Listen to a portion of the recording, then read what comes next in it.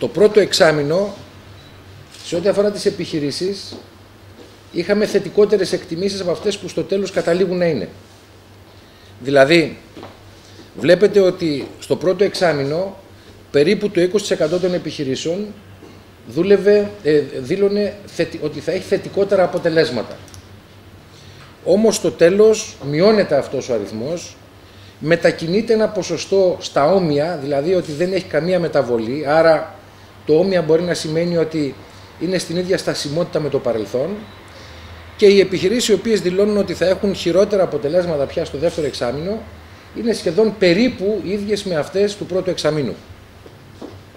Τώρα, βάζοντας τις επιχειρήσεις να μας πούν τι, έγινε, τι κάνουν τα αποτελέσματα του 11 σε σχέση με αυτά του 10, εδώ θα δούμε ότι ισχύει το κάθε πέρυσι και καλύτερα.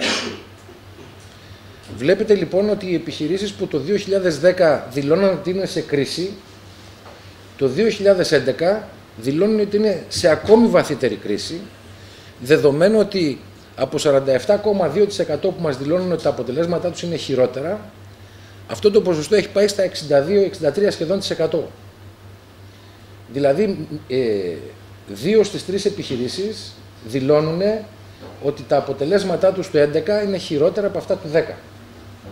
Εμείς το εκτιμούμε πάρα πολύ αυτό το δεδομένο και για μας είναι σοβαρό ρήγμα πια στο σύνολο των επιχειρήσεων.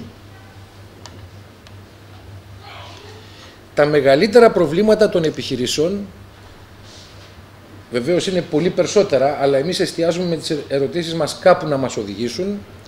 Θα δείτε ότι ουσιαστικά είναι δύο τα ζητήματα και ακολουθεί ένα τρίτο. Είναι καταρχήν η μείωση της χρηματοδότησης, της πιστοτικής χρηματοδότησης.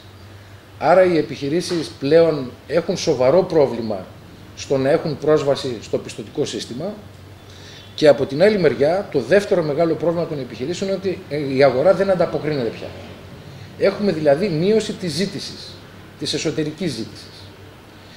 Θα δείτε ότι σε ό,τι αφορά το θέμα της αύξησης των ακάλυπτων επιταγών, ενώ παραμένει έντονο, είναι χαμηλότερο ως πρόβλημα γιατί οι συναλλαγές στην αγορά με αυτόν τον τρόπο αρχίζουν σταδιακά και περιορίζονται. Και όταν λέω με αυτόν τον τρόπο εννοώ με επιταγές. Ένα μέσο ε, ε, συναλλαγών το οποίο δούλευε σήμερα βρίσκεται στην κρίζα ζώνη του ύποπτου, διότι κανένας δεν ξέρει αν αυτό το μέσο συναλλαγής είναι αξιόπιστο. Τώρα, σε ό,τι αφορά το θέμα της μείωσης τραπεζικής χρηματοδότησης, θέλω να σας θέσω και μια άλλη διάσταση που αντιμετωπίζουν πλέον όλες οι επιχειρήσεις, οι οποίες με κάποιο τρόπο έχουν σχέση με το εξωτερικό. Δηλαδή, αγοράζουν από το εξωτερικό πρώτες ύλες, ενδιάμεσες ύλες, υλικά συσκευασίας κλπ. Πλέον οι ελληνικές επιχειρήσεις στις αγορές του εξωτερικού θεωρούνται αναξιόπιστες. Και θεωρούνται αναξιόπιστες στις συναλλαγές τους, όχι γιατί πραγματικά οι ίδιες είναι, αλλά διότι το ελληνικό κράτος θεωρείται αναξιόπιστο και συλλήβδην καμία δραστηριότητα αυτού του κράτους δεν θεωρείται αξιόπιστη. Αυτό πολύ απλά σημαίνει ότι οι επιχειρήσεις οι οποίες συναλλάσσονται με προμηθευτές τους του εξωτερικού για να προμηθευτούν αυτά τα οποία τους είναι αναγκαία θα πρέπει να το κάνουν μόνον με ρευστό. Καταλαβαίνετε τι σημαίνει αυτό. Αυτό είναι ακόμη μία θηλιά στο λαιμό των επιχειρήσεων. Βεβαίως, αν συνεχίσει αυτή η κατάσταση, δεν είναι καθόλου απίθανο όχι απλώς να έχουμε ελλείψεις σε πρώτες ύλες, αλλά σταδιακά να έχουμε και ελλείψεις στην αγορά από βασικά είδη πρώτης ανάγκης.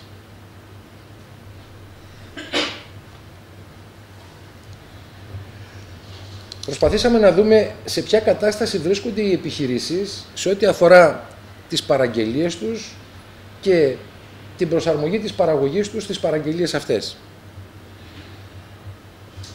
Μοιάζει να είναι θετική εικόνα η αρχική στήλη που λέει ότι μειώνονται οι επιχειρήσεις οι οποίες έχουν μείωση των παραγγελιών και της παραγωγής τους σε ποσοστό από 10 έως 30%. Αν μέναμε μέχρι εδώ θα ήταν πολύ θετική εικόνα. Θα δείτε όμως παρακάτω ότι αυξάνονται οι μπάρες που διευρύνουν το ποσοστό των απολειών. Και εμάς μας συγκλονίζει ότι αρχίζει και εμφανίζεται πολύ έντονο το ποσοστό μείωσης από 50 έως 60 και πάνω της 100 που αρχίζει πλέον και πιάνει χώρο. Μέχρι τώρα το πρόβλημα ήταν από 50 και προς τα πίσω. Τώρα αρχίζει να μετακινείται το από 50 και προς τα μπρος. Και βλέπετε ότι οι επιχειρήσεις που στο παρελθόν δηλώνανε ότι δεν έχουν αρνητικές, ε, δεν έχουν αρνητικές επιπτώσεις, ήταν στο 32%, τώρα αυτό το ποσοστό μειώνεται. Που σημαίνει τι, ότι στις απώλειες πλέον συμμετέχουν όλο και περισσότερες επιχειρήσεις.